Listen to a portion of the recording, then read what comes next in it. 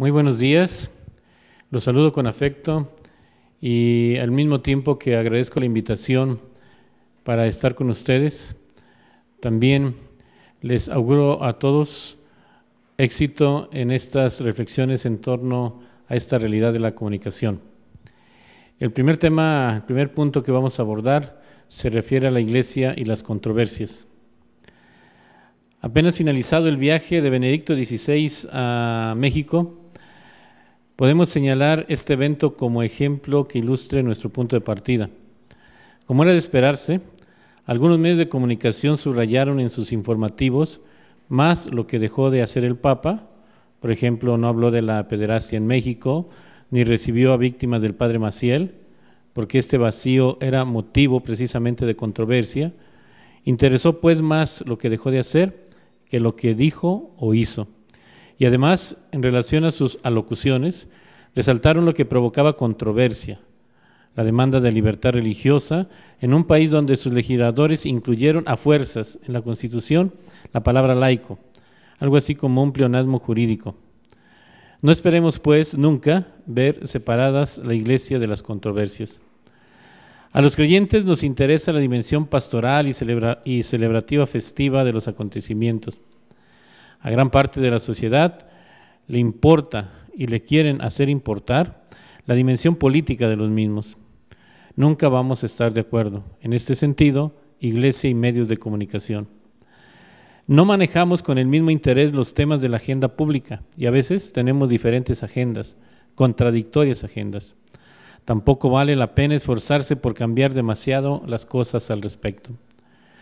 Aunque parezca obvio, tenemos que hacer una distinción, como dicen los teóricos, entre controversia y crisis. Nosotros nos acotamos a la controversia. La crisis y su modo de gestión específico requieren un análisis diferente. La iglesia no nació para la controversia, pero es casi imposible vivir sin ella. El modelo involuntario para este caso, pero por ser coherente, verídico y hablar siempre con asertividad, es Cristo. Y con esto queremos señalar que siempre que nos movamos en este sentido vamos a caer en controversia, porque discrepamos de lo que el mundo considera como valores, ideas y propuestas. Como cita el profesor Marc Arroyo, la actividad pública de la Iglesia se desarrolla en un ambiente cultural y mediático que privilegia la controversia. Pero también habría que analizar cuándo y por qué la Iglesia misma o sus personajes por diferentes motivos, se enfrascan en situaciones de conflicto. No resuelven pronto, no dan respuestas, nadie da la cara, dejan crecer problemas menores que se podían haber solucionado en tiempo y forma antes, acusan falta de organización, etc. Ustedes tendrán los mejores ejemplos para ejemplificar estas palabras. Son situaciones en las que se revelan deficiencias, expresan crisis de desarrollo, evidencian errores en decisiones. Por otro lado, la iglesia es vista, es interesante y por lo tanto noticia para la opinión pública precisamente cuando se presenta alguna controversia. Por lo tanto, hay que aprovecharlas. Parecería irónico, pero la iglesia tiene que sacarle fruto, fruto que ayude a profundizar la verdad que debe dar a conocer a esa situación controversial en la que vive inmersa que está en la naturaleza de su mensaje y de su quehacer. Es en este punto donde quiero abundar. El vocero del Vaticano, el padre Federico Lombardi, apenas el pasado 14 de febrero, afirmaba que en cierto sentido, cuando se producen los ataques más fuertes, es señal de lo que está en juego, es importante. Nosotros tenemos un mensaje importante. Lo tenemos que presentar importante. Por eso no podemos esperar sino controversias y ataques. Tenemos personajes en la iglesia que son o parecen en sí mismos controversiales por su cargo o por su personalidad y que la opinión pública identifica con la iglesia.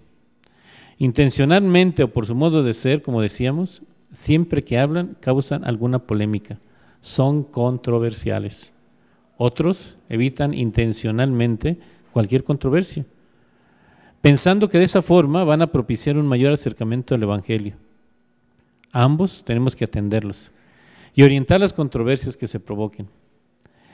He servido como vocero al cardenal Juan Sandoval Íñiguez, ahora arzobispo emérito de Guadalajara, acá en México, que dijo hace dos años lo siguiente. ¿A ustedes les gustaría que los adoptara un par de maricones o lesbianas? Palabras fuertes, controversiales en bocas de un purpurado. Se atrevió a hablar. Quiso atraer el tema de esta forma, porque la intención para legalizar la unión entre personas del mismo sexo y denominarla matrimonio estaba avanzando. Y ningún obispo mexicano polarizaba el asunto. Los que lo intentaban recordaban literalmente las palabras del magisterio pero no eran escuchados y no provocaban ninguna reacción. En efecto, los medios dicen que las declaraciones del cardenal Sandoval son siempre tronantes cuando se trata de defender el matrimonio o la familia. En realidad son controversiales, porque lo que defiende una buena parte de la opinión pública no lo considera como valor. Hablar con claridad, pues, del mensaje de Cristo va a causar controversia. No hay que tener miedo a esto y calcular las consecuencias. Es posible, pero se necesita tener la agenda de temas en las manos. Las controversias, a diferencia de las crisis, son ordinariamente previsibles. En Benedicto XVI tenemos el ejemplo, en la controversia, por lo tanto noticia y por lo tanto de interés público, que provocó con los musulmanes el 12 de septiembre de 2006 en la Universidad de Ratisbona, Muchos dirigentes y agrupaciones en el mundo islámico expresaron su protesta en contra de lo que consideraron un insulto y una desfiguración del Islam, cuando citó al emperador bizantino Manuel II, paleólogo, al dirigirse a un persa culto. Muéstrame aquello que Mahoma ha traído de bueno y encontrarás solamente cosas malvadas e inhumanas, como su directiva de difundir por medio de la espada la fe que él predicaba. Ya sabemos los caudales de declaraciones que se desbordaron. ¿Fue intencionalmente provocador, controversial el pontífice? Por supuesto. Se hizo creer que el Papa había sido ofensivo. Lo que en realidad hizo fue promover a su modo un encuentro con el mundo musulmán, de paso por una controversia calculada, riesgosa, pero efectiva en que señaló que nosotros, que entre nosotros, entre musulmanes y creyentes, cristianos, no debe haber enemistades, que nuestros enemigos comunes son el relativismo y la pérdida de la dignidad de la persona. Difícilmente Benedicto XVI hubiera logrado este mismo efecto, conjuntar a los representantes de los países islámicos y exponentes de las comunidades musulmanes en Italia de otra manera. Las controversias deben formar parte de la normalidad tener a una parte del público en contra, con razón o sin razón, es algo normal. Una controversia puede traer consecuencias positivas, debe traer consecuencias positivas. Las controversias se interpretan como un fenómeno normal, inevitable, pero pueden constituir grandes oportunidades. Así lo dijo Jay Folber. Lo importante no es saber cómo evitar o suprimir el conflicto, porque esto suele tener consecuencias dañinas y paralizadoras. Más bien, el propósito debe ser encontrar la forma de crear las condiciones que alienten una confrontación constructiva y vivificante del conflicto. La iglesia es signo de contradicción y comulgamos con las palabras de Joaquín Navarro Valls. A veces las controversias son la confirmación de que el mensaje ha llegado. Y nos pasamos al siguiente punto, la gestión de las controversias.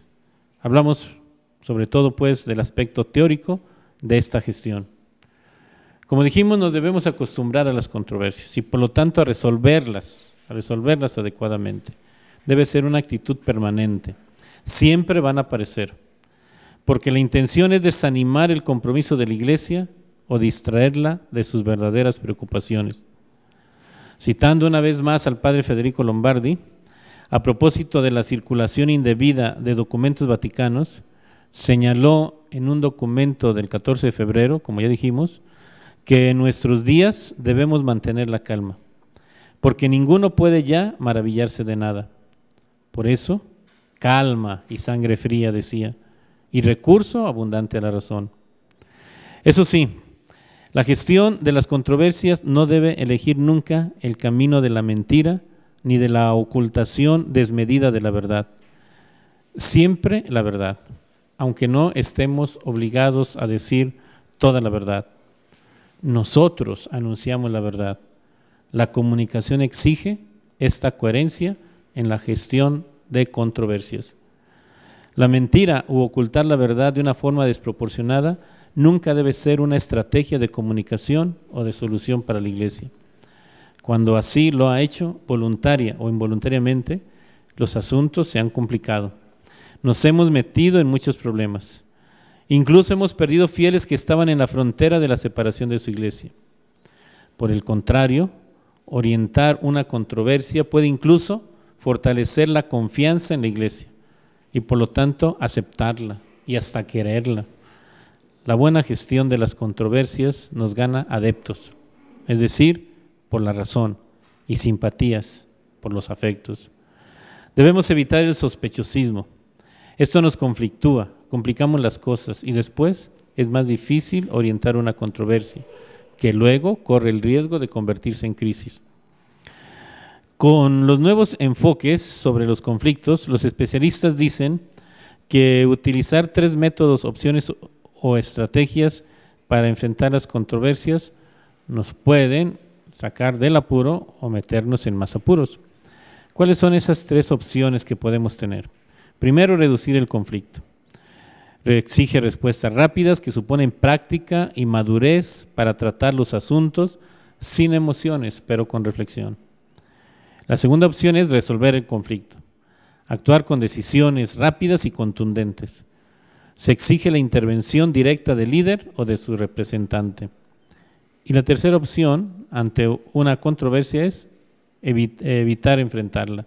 Nos quedamos en silencio, no decimos nada, nos escondemos, esperamos a ver qué pasa o si en el camino se resuelven las cosas, pero con esto corremos los riesgos de esta actitud.